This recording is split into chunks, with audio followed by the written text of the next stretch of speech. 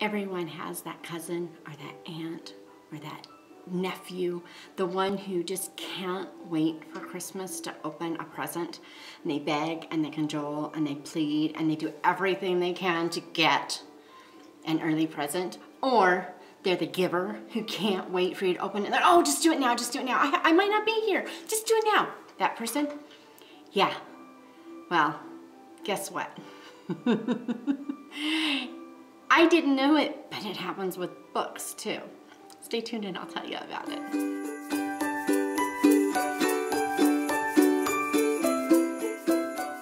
October 17th. Now, that's not just my number six daughter's birthday.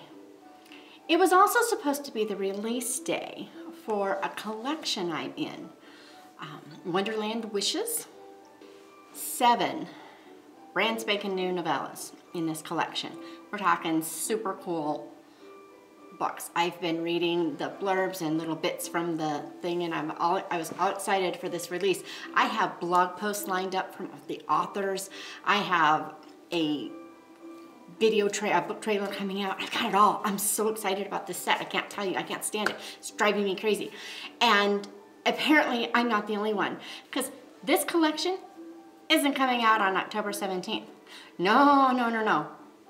It came out now, today, like it happened last night. She said, hey, we're all done, we're all ready, why not now? And of course, we're all going, yay, yay, let's do this. And I'm thinking, man, is there something funny here or what? Because I mean, is this like not Christmas? This is what Christmas happens. It happens every, every year, right? There's always that person that's like, oh, I can't wait. Let's just do one present on Christmas Adam. And then we can do one on Christmas Eve. And then we can do on what, right? I mean, there's always that person, right? Well, this whole collection is that person. It said, hey, let's not wait. So we have seven books for you. Seven. Super cool. We have Lynnette Bonner, and hers is Kittens and Snow Flurries. And it's the third book in the um, Hearts of Hollywood, I think it's called. Super excited to read this book we she's we're, we're, we're talking about a Hollywood gal right out of rehab and kittens and Christmas. Now, if that's not an unusual combination, I don't know what, and I think it's gonna be super cool. Then we have Jan Cline's Finding Christmas in You, and who doesn't love kind of a little um, mini mystery with someone who can't quite remember something she should. So that's gonna be super cool. Then we have Kathleen Freeman's um, it's Once Upon a Christmas Star, and hers is kind of a Gift of the Magi retelling with a girl and her father, and it just sounds fabulous. I can't wait to read it. It's the one I'm probably most excited about right now as I'm working on the trailer because I'm like having to rush now, right?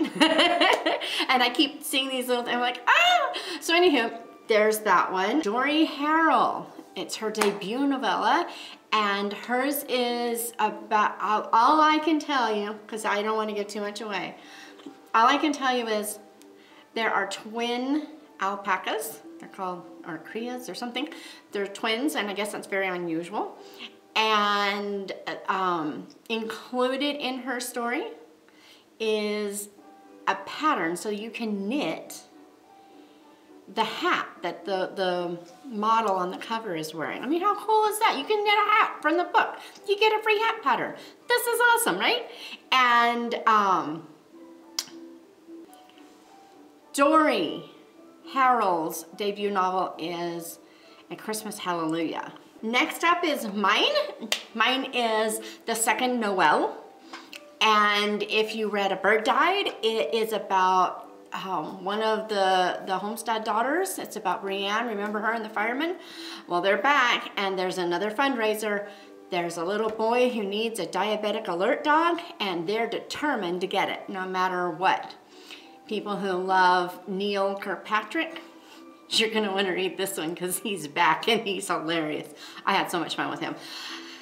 I really like that guy. I never thought I would. I hated him for a long time. Now I like him. Next up is Leslie Ann McDaniel, and Leslie Ann McDaniel's book is um, Home for the Holidays, and yeah, she kind of likes this guy, and well, anyone can pretend, pretend to be churchy enough, right? Yeah, I loved that. I saw that and I was like, oh, that is hilarious. Next up is Sylvia Stewart with Montana Sky, and it takes, it sounds like it takes place partly in a cafe. Nice little flirty cowboy. I mean, come on. Cowboys and Christmas, what more can you ask for, right? So, seven brand new novellas. You gotta, you gotta get this set. It's only 99 cents. If you have Kindle Unlimited, it's free. Just go read them. And hey, just a note, we would absolutely love it if you read it please leave a review. Doesn't have to be long, just a couple of lines even. Just something that says, hey, this is why we, I like it and this is who I recommend it for. That's all you need. We would so appreciate it. Anyway, it's available. There's a link in the description and you go and have a great day. Bye.